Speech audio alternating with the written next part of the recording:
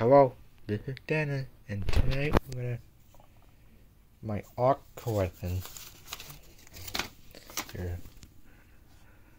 the graphic very part here for front, buying in the back. Second paper.